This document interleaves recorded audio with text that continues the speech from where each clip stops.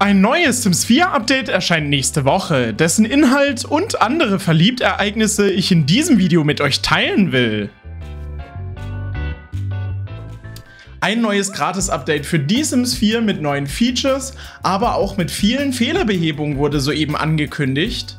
Ich habe direkt schon mal die Arbeitsliste geöffnet, die die Entwickler dazu geteilt haben und es sind insgesamt über 60 Probleme, die mit dem nächsten Update angepackt werden.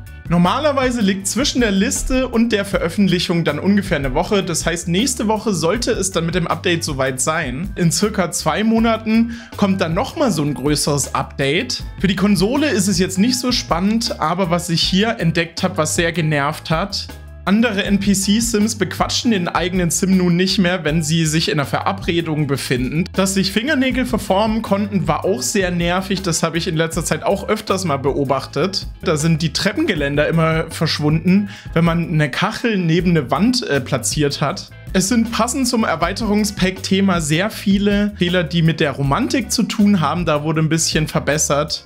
Auch bei Gaumenfreuden wurde geschraubt, da gab es ja auch immer sehr viele Bugs.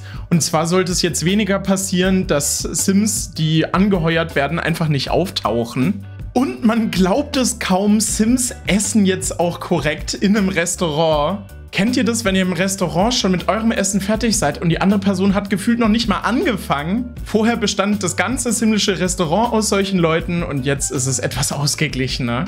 Auch für schwächere PCs interessant, wenn man mit seinen Sims reitet, dann treten insgesamt weniger Lags auf, das ist noch positiv. Und dass sich Pferde bei zwei- oder dreifacher Geschwindigkeit äh, teleportieren, tritt ebenfalls nicht mehr auf. Übrigens, wenn ihr auf die Verliebt-Erweiterung ordentlich sparen wollt, 34,49 Euro um genau zu sein, schaut gerne in der Beschreibung bei meinem Partner Instant Gaming vorbei. Bei meinen Hochzeitsgeschichten wurde ein bisschen was geschraubt. Ja, mittlerweile ist dieses Pack auf jeden Fall fehlerfreier, aber trotzdem nicht großartig viel spaßiger. Alle Fehler, die behoben wurden, könnt ihr euch auch nochmal in der Beschreibung im Blog-Eintrag ansehen.